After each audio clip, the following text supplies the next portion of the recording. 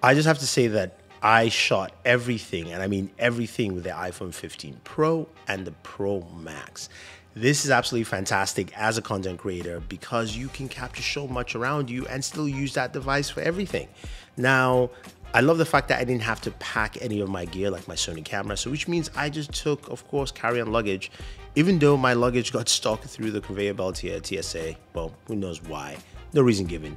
But being able to just use the phone in my hand to capture the zoom lenses are great for, of course, the zoom action uh, and using it just concurrently is is nice. So I had the 15 Pro Max, Daniel had the 15 Pro, and we used it in conjunction to just kind of capture everything in this video here to get the best content possible. And you guys know, we are going to go check out an awesome vehicle from Mercedes and some really new tech. Now, if you're joining us for the first time, this is Thunder E from Booredatwork. Go ahead, smash that subscribe button, notification icon, so you can watch more videos like this. So we're about to board the plane and get in there to see uh, Mercedes. And luckily, we were flying business class. Though I have never flown in seats like this from United. Honestly, guys, just just change change it. You know, it's a bit weird kind of jumping over people just so you can use the bathroom. That being said, though, um, I love airports. I love planes. I am an AV geek, even though I don't really mention it. Um, and I enjoy that just flying experience overall. Okay, on a side note, what is up with LAX? Why is it such a messy airport? I mean, it's hard to go from terminal to terminal. It's hard to find anything, and there's a lot of traffic. So anyone who lives in LA, please tell me why is LAX so bad? Anyway, back to Mercedes. Mercedes invited us over here to check out their Drive Pilot system. This is a level three uh, autonomous self-driving system. It is actually considered conditional autonomous self-driving, which is quite interesting uh, to see. And it's something that you will see in action and you'll go, wow, wow, this is pretty cool. Nobody has a level three self-driving. Just to give you some background what level three uh, entails, it's conditional, meaning that it gets into certain conditions. And for Mercedes, this has to do when you are driving uh, under 40 miles per hour during traffic. Yes, just bear that in mind. Now, keep that aside for a second.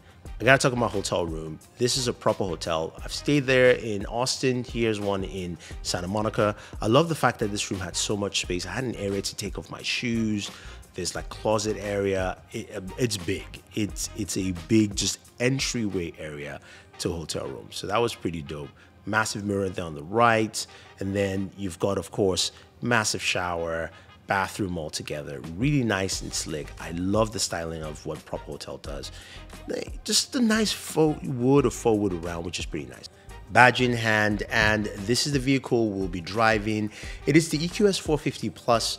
Now drive pilot is available in the s class as well as the eqs as well. And you see those turquoise lights around the car. That indicates to drivers around you that you're in self-driving mode. You're in a conditional self-driving mode which is great. I love the fact that it went with a specific color that's different from the red brake lights to indicate to drivers that yes you are the car's driving itself. Uh, now I am about to get into the vehicle and we're about to take this show on the road. Now, one thing though is I love the EQS interior. It's one of the best. I love the massive screens across this. And they put the screen into good use. Now, before you use Drive Pilot, you must watch the, um, the video giving you an explanation of what it does, how it functions, and how you actually get to use Drive Pilot.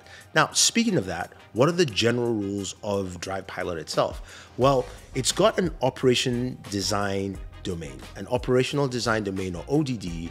Uh, I like to call it JJK's domain expansion. And there are certain rules that must be met, like traffic jams up to 40 miles per hour, a vehicle in front of you, good road conditions, reasonable weather and lighting conditions, HD map, available as well. Now, once all those are done, you hit the button on your steering wheel, it turns white, and then you go ahead and hit the OK button on the left hand side, it turns turquoise, and you are in self-driving mode. Now you can go hands off, eyes off, and you are good to go. It's a fun experience. It's a bit weird, but you can see there's traffic. It's you know it's not it's not slow traffic, but it's about maybe 35 to 40 miles per hour. The car's keeping up. It's watching cars that change lane in there, and allows me to do other things. Uh, the system is built so I can watch a video. I can go in and watch a YouTube video like the iPhone 15 Pro Max gaming video go watch that. Uh, and you can see how free it is to just not to do anything. Now, the one thing is that you cannot close your eyes because the set there's a sensor in front. Once you do, it, it, it goes off drive pilot mode and basically tries to get you to take control over it. Uh, now, the way Mercedes has this is that uh, the Drive Pilot system itself is really set for those conditions that I mentioned, but it allows me to go ahead and play video games in the car and win. But that's just really impressive seeing that this can actually do that. A couple of things to note. Mercedes basically says they take full responsibility for anything that happens while the car is in drive pilot mode. So while it's self-driving, the onus of responsibility passes from you to the vehicle, which is Mercedes. So I really like the fact that they've been very confident about this. Plus, the system has been already been available in Germany for about a year with zero incidents and they are happy to see it come to the US. It's going to be available currently in California and in Nevada. Those are the two states uh, that Drive Pilot will be available in. The two vehicles I mentioned, the EQS range as well as the S-Class line. Uh, plus, its pricing is 2500 for the year in terms of what you are paying for Drive Pilot and it will be constantly updated for traffic regulations, uh, traffic rules, as also as well as software updates that you would expect.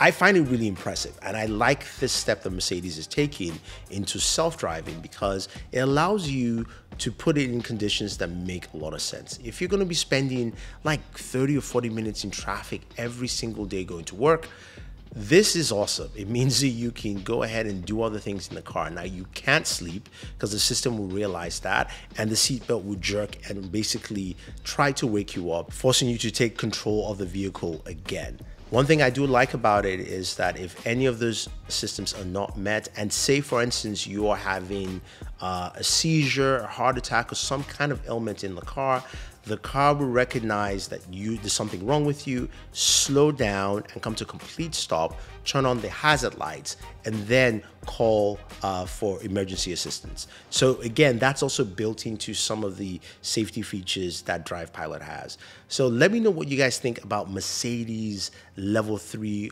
autonomous self-driving uh, with Drive Pilot. What do you guys think? Leave your thoughts down below. And did you enjoy this video that was shot entirely with the iPhone 15 Pro and Pro Max? Let me know.